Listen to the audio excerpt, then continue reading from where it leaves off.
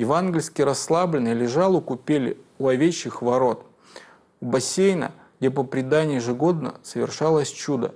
Ангел Господень спускался к воде, касался ее крылом, она вскипала, и первый, кому удавалось к ней прикоснуться, тотчас исцелялся. Как написано в Евангелии, там лежало великое множество больных, слепых, хромых, иссохших, ожидающих движения воды. Этот расслабленный человек был там же. Он был болен 38 лет, тоже ожидал чуда, чтобы исцелиться.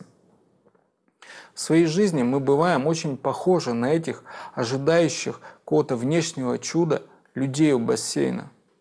Мы, тоже, мы приходим в церковь, потом ждем, что Господь что-то такое сделает с нами – чудесное. И мы раз исцелимся, избавимся от всех проблем и вообще заживем счастливо. Может, икону какую-нибудь чудотворную поцелуем, или съездим в очень святое место, или попадем к старцу, он пошепчет нам на ухо, и мы из плохих сразу станем хорошими. Люди у евангельской купели так и думали. Тот расслабленный человек тоже ожидал, что с ним что-то такое произойдет. Он ошибся. Поэтому эта история дошла до нас. К нему подошел Христос и спросил, «Хочешь ли быть здоров?» Человек сразу ответил, «Да, Господи». И услышал в ответ, «Встань, возьми постель твою и иди». Расслабленный ждал какого-то внешнего чуда, движения воды, и нужен был человек, который туда бы его опустил. А Господь просто сказал, «Иди». И расслабленный тотчас стал здоровым и пошел. Так Господь показал, что главное – это твое желание исцелиться, твоя вера, а все остальное – это не важно. Когда Иисус говорил об Ане Крестителя, то сказал народу, как достичь Царства Небесного. От же Иоанна Крестителя до ныне Царство Небесное силой берется.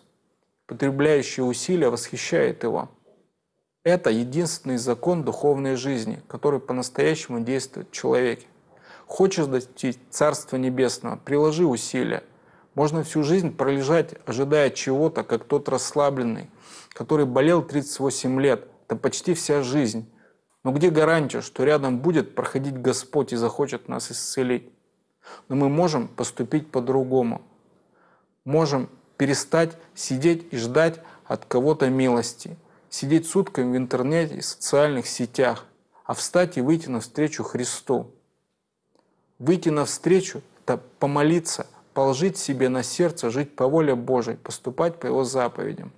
Перестать вечно ныть и чего-то ждать, а попытаться измениться в своей жизни, заняться собой, своей душой, взять свою постель и пойти. Потому что мы и вправду больше всего на свете – хотим выздороветь. Такие дела.